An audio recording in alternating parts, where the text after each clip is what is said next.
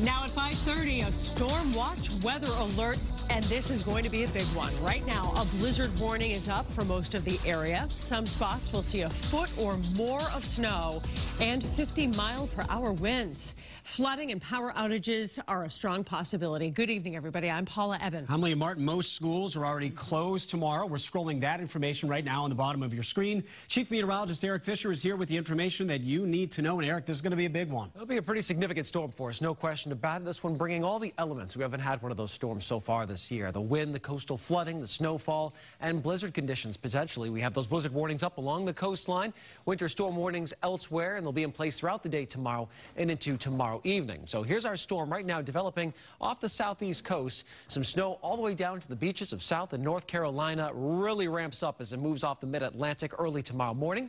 Our snow really starts to pick up around 7 a.m. So if you want to get out early, early, early before sunrise. That will be the best opportunity before travel becomes much more hazardous. Heavy snowfall from mid-morning through mid-afternoon.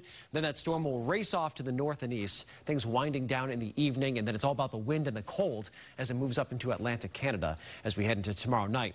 So will we see blizzard conditions? That's sustained winds or frequent gusts over 35 miles per hour for at least three hours with considerable falling or blowing snow and visibility a quarter mile or less for three straight hours. That looks to be a pretty good good likelihood, especially around midday tomorrow.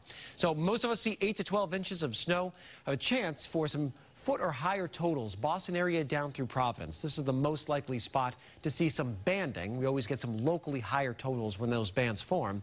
And then lower amounts toward the Cape. We'll be battling that rain snow line for a good part of the storm system. You'll also get a wetter snow type there. So all things to consider with this particular storm. And overall, I think that it's going to be the wind that ends up being a big issue. And the big story there is the fact that the wind is going to ramp up because it's an unusual drop in pressure that we're going to see with this particular system. Well, and this is the word that we hear over and over associated with the storm. Fun to say, bombogenesis, but what does it mean? All right, so what bombogenesis actually is, it's something we talk about every single year. Not everyone's a weather geek like us. They're not paying attention to these words, but what it means is a rapid drop in pressure. Now, this storm started out this afternoon around 2 o'clock. Its pressure was at 1,004 millibars. That's a pretty weak area of low pressure due east of Orlando. But in just 24 hours till 2 o'clock tomorrow afternoon, look at those isobars, those lines. They get tighter.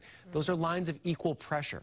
So the pressure drops all the way to 955. And so this is going to drop 49 millibars or so in 24 hours. That's really unusually fast.